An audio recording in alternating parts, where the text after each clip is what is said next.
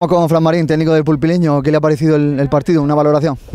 Un partido que teníamos muy complicado, muy complicado a lo largo de toda la semana, veníamos con muchas bajas, hemos incorporado hoy cuatro, cuatro juveniles en, la, alineación, en, los 16 convocados, y sabemos que veníamos con muchos problemas. Aún así, el partido se ha enfocado bien, se ha hecho un trabajo de desgaste estupendo, pero no hemos podido lograr la victoria al final.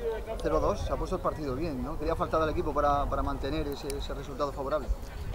Pues lo que pienso, principalmente nosotros somos un equipo que tenemos, eh, con toda, la, con toda la, de la ley, tenemos ciertas dificultades, ciertas dificultades en cuanto que, que tenemos, somos un equipo humilde y no podemos tener 22 jugadores tenemos ya visto que, hemos venido con lo que veníamos y ante eso es difícil pelear contra un grande como es el Lorca Deportiva que viene en un equipo hecho que su único eh, objetivo es playoff y, subir, pienso. De hecho, creo que tienen plantilla para eso. Carrasco determinante una vez más, ¿no?